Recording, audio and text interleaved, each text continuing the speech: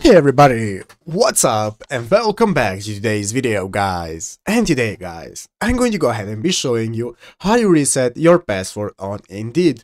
This is a very simple thing to do guys, so make sure to watch this quick and easy video till the very end and follow my steps correctly so you can make sure this works the same for you and that you can do this yourself. But yeah guys, let's get straight into it. So guys, the first thing you want to do is go ahead and open up the official Indeed.com website right here. Then you'll be greeted by this homepage right here. And now let's go ahead and see how you reset our password. So we cannot log in, so we need to reset our password. So the first thing we need to do is go ahead and click the sign in button right here in the upper right corner. So guys, go ahead and click on sign in. And this is now going to take us to this new page where we can enter the email address we have used for signing in, or we can continue with Google or with Apple, doesn't matter. So guys, let's go ahead and enter an email that we have. I'm going to select this pro profile right here and click on continue.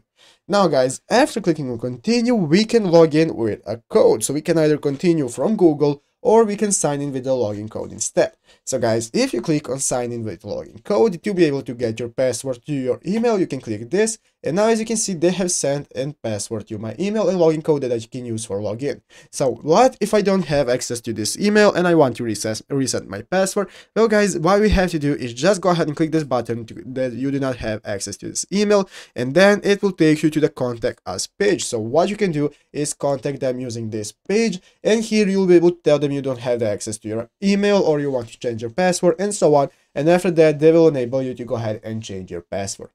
But yeah guys, basically that is it how to do it. So I hope this video was helpful. If it was, make sure to leave a like, subscribe to the channel. So guys, thanks for watching, take care and bye.